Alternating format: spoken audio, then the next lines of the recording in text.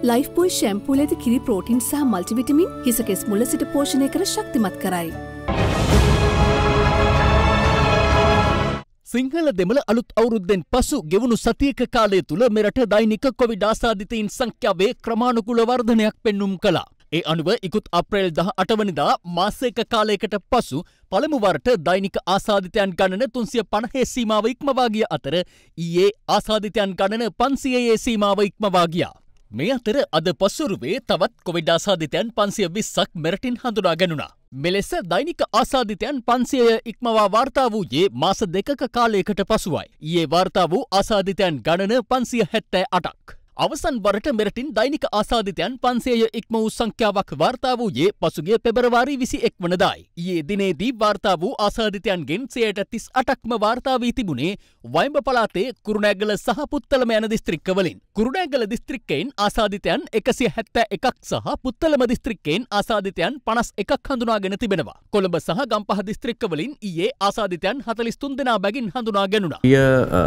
සති කිහිපේම දීර්ඝ සතියන්ත කිහිපයක්ම අපට ලැබුණ ඇත් දැන් අපි ඉදිරියට මුහුණ දෙන්න තෙවැනිම සතියන්. මේ වගේ අවස්ථා ගැන රජය විශේෂ අවධානයක් යොමු කල්ලා නැද්දම අනිවාර්ම හෙට අතිකරු ජනාධපතුමාගේ ප්‍රධානත්වයෙන් කෝවිඩ් ටාස්ෆෝසක රැස් වෙන තොට අපි අපි කරුණු සියල්ලම අතිකරු ජනාධපතුමට අපි ඉදිරිපත් කරනවා. එතනතින එල් එල්ලමෙන මාසය තුළ අපි ඉතාමත්ම නීතියත් හදෙන්ම ක්‍රියාත්මක කරන්න කින උපදෙස පොලිස්පත්තුමට දෙන්නකෙන ඉල්ලීම අපි හට තදින් කරනමකද සංචරණය යම්කිසි ආකාරයක සීමා කරලා ඒකරාශි වෙන උත්සවටික සම්පූර්ණයෙන්ම නවත්තන්න කටයුතු කිරීම වැදගත. ඒදිනිදි වෛද්‍යවරු ඉල්ලීමක් කරා දෑමතුමිය විශේෂ රැස්වීමේදී වෙසක් කලාපසා දන්සැල් පැවැත්වීමෙන් වලකින්න කියලා විශේෂිල්ලීමක් කරන්න. අනිවාර්ය මේක යෝජනා වනා මොකද වෙසක් කාලෙදි විශාල ලෙස ජනතාව ආගමික සිද්ධස්ථානවලට යනවා ඒ වගේම කාලයක් දැන් අවුරු දෙකක් විතර දන්සැල් තියන්න බැරිවුණ ඒ සඳහා සූදානමක් තියෙන නිසා සියලුම කටයුතු තාවකාලිකව නවත්තන්න මේ මාසය තුළ කියලා මහිතනක තාමත්ව වැදගත් වෙන. ඊයේ දිනේදී තවත් කොවිඩ් මරණ පහක් වාර්තා වූ අතර ඉන් තිදෙනෙකුම ගම් පහ දිස්ත්‍රික්කෙන් වාර්තාවී තිබුණා. ඒ සමග මෙරට සමස්ත කොවිඩ් මරණ සංඛ්‍යාව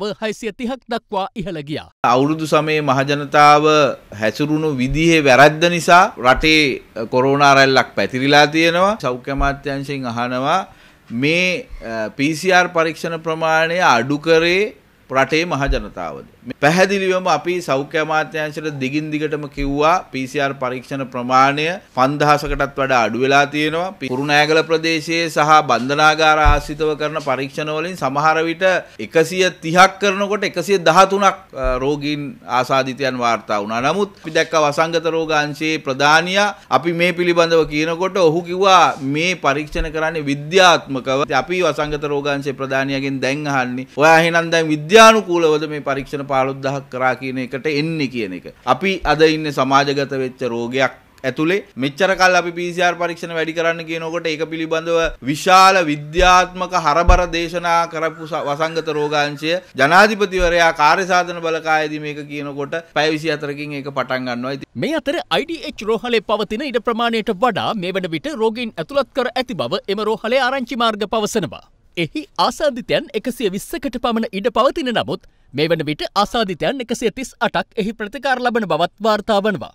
එමෙන්ම එහි දැඩිසත්කාර ඒකේ ඇති ඇඳන් අටම මේ වන විට පිරී ඇති බවයි වාර්තා වන්නේ. එම රෝහලේ සිටින අසාධිතයන්ගෙන් සයට විස්සකට පමණ ඔක්සිජන් ලබා දෙමින් තිබෙනවා. යනුව ඔක්සිජන් අවශ්‍යතාවේද ඉහළ ගොස් ඇති බවයි පැවසෙන්නේ.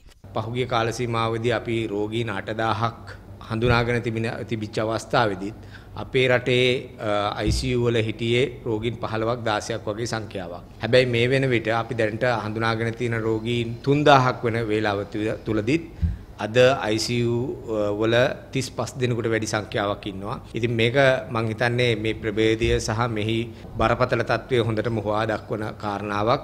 අපි අපේ ICU ධාරිතාව යම්කිසි ආකාරයකින් දැන් උපරිම මට්ටමකට ළඟාවීමෙන් පවතිනවා. ඉතින් ඒක බරපතල තත්ත්වයක්. අපි පහුගිය කාලෙදීම දැක්කේ ICU වල ඉන්නවා 55 60 65 70 යන වයස් කාණ්ඩවල අය.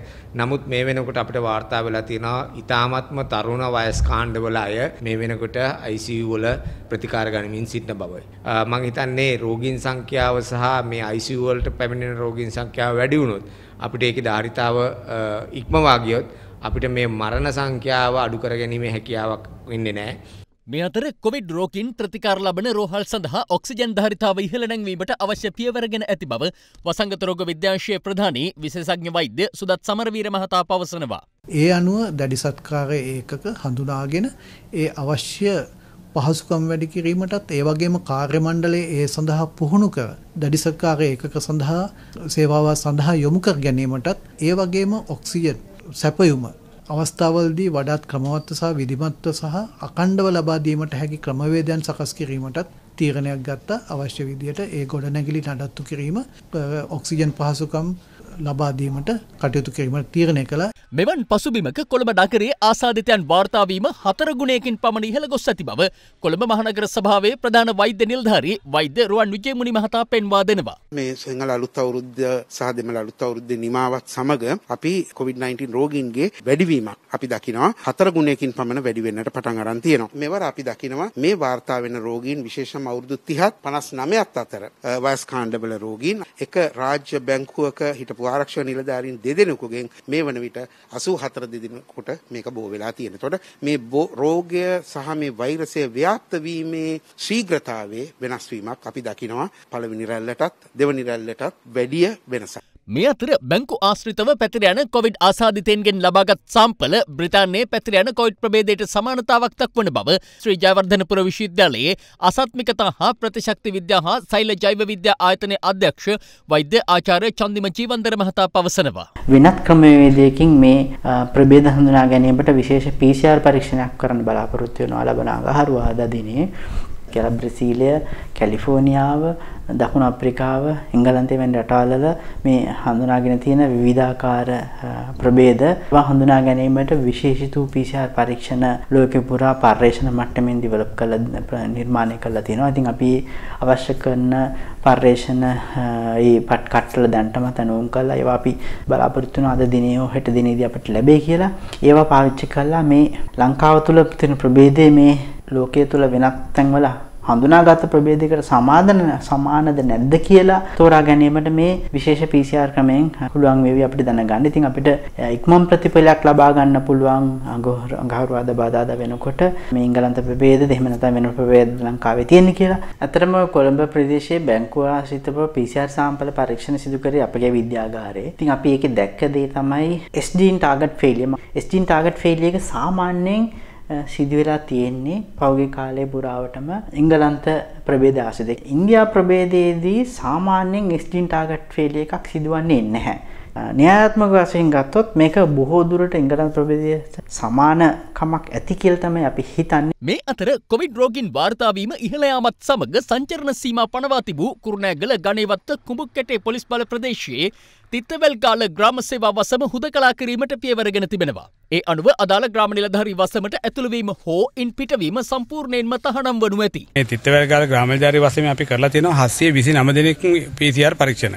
ඒකෙන් මේ දක්වා 163ක් දැන් පොසිටිව් වෙලා තියෙනවා. ඇත්තට මේක ප්‍රතිශතයක් වශයෙන් බලනකොට 122කට ආසන ගණන්. ඒ කියන්නේ මම මේ කියන්නේ පහකට එකක් දැන් අපේ මේ ප්‍රදේශයේ රෝගීන් ඉන්නවා. ඉතින් ඒක නිසා අපි එක ග්‍රාමජාරී වසම තිත්තවැල් ගාල ග්‍රාමජාරී වසම සහ අනික් ග්‍රාමජාරී වසම් වල ගම් තුනක් අපි හුදකලා බවට පත් කළා. මොකද රෝගයේ පාලනය අපේ යටතට ගන්න ඕන නිසා. ඉතින් ජනතාවට කියන්න තියෙන්නේ කිසි බීයුතුවීමක් නැහැ. රෝග පාලනය අපේ යටතට අරන් තියෙනවා. වැඩි මේ ගැවසෙන්නේ නැතුව ගෙවල් වලටලා නිවසලට අයින්ද ඒ අනුව කුලියාපිටිය පොලිස් වසම හුදකලා කිරීමට තීරණය කළ බව යුද හමුදාපති ජෙනරාල් ශවේන්ද්‍ර සිල්වා මහතා සඳහන් කළා. අද දින වනිට පන්සියකට අධික සංඛ්‍යා කුයිඩ ආසාධිතයන් ශ්‍රී ලංකා තුළ සොයා ගැනීමට හැකියාව ලැබිලා තිබෙනවා. මේ බොහෝ දුරට ඉදිරි සති දෙක තුනදී මීට වැඩිය වැඩිවීමේ හැකියාවකුත් තිබෙනවා. එක්කම ඊයේ රාත්‍රියේ කුරුණෑගල එක් ග්‍රාමනිධාරි වසමකට හුදකලා කිරීමට කටතු කරනු ලැබවා. ඒවගේම අද මධ්‍යම රාත්‍රී සිට කුලියාපිටිය පොලිස් වසම හුදකලා කිරීමට අපි කටතු කරනු ලබනවා. ගම්පහ දිවල පිටිය මැල්ලව ගෙදර ප්‍රදේශයේ පුද්ගලින් හතලි සට දෙනෙකුටද කොවිඩ් වෛරසය ආසාදන වී ඇති බවට හඳුනාගෙන තිබෙනවා. අදාළ පුද්ගලින් පසුගිය දිනක අලුත්නුවර ප්‍රදේශයේ විනෝද චාරිකාවකට සහභාගී වූ පිරිසක් බවයි සෞඛ්‍ය අංශ සඳහන් කළේ. උත්තම සමයේ විනෝද චාරිකා සහ මේ තව ප්‍රිය සාධ පවත්වලා තියෙනවා. ඒක තමයි මූලිකම හේතු වෙලා තියෙන්නේ මේ පොකුර නිර්මාණය වීමට. මේ අතර විශ්වවිද්‍යාල අප්‍රේල් විසි හත්වනදා ආරම්භ කිරීමට නියමිතව තිබුණත් විවෘත කිරීමේ දිනය සති දෙකකින් කල් දැමීමට රජය තීරණය කර තිබෙනවා. අපි තීරණය කල්ලා තිබුණා රටේ සියලුම විශ්වවිද්‍යාල එඩ අඟහරුවාද අප්‍රේල් විසි හත්වනදා විවෘත කිරීමට. ඒත් අද උදෑසන අපිට උපදෙස් ලැබුණා සෞඛ්‍ය අධ්‍යක්ෂ ජනරාල්තුමාගෙන් රටේ පවතින සෞඛ්‍ය තත්ත්වය නිසා නුවනට හුරුයි කියලා තව සති දෙකක් එක කල් දැක්. අපි ඒ අනුව කටයුතු කරනවා. ඒ අනුව අපේ විශ්වවිද්‍යාලවල සියලුම උපකුලතිවරුන්ට දැනුම් දෙනවා. අප්‍රේල් 27 වනදා නෙවෙයි ඊට සති දෙකකට පස්සේ තත්ත්වය සලකලා බලලා රටේ සියලුම විශ්වවිද්‍යාල විවෘත කරනවා කියලා. මේ දක්වා මෙරටින් හඳුනාගෙන ඇති කොවිඩ් ආසාදිතයන් ගණන අද වන විට අනු අටදහසේ සීමාව ඉහළ ගොස් ඇති අතර ඉන් අනුතුන්දහ සටසය අසු හතර දෙනෙකු සුවේ ලබා පිටව ගොස් සිටිනවා. ඒ අනුව තවදුරටත් රෝහල් ගතව සිටින කොවිඩ් ආසාදිතයන් ගණන තුන්දහස් පන්සිය තිස් හයක්. ආයුෂ සපිරේ සුප අලුත් අවුරුද්දක් වේවා ලීව ආයුෂ්.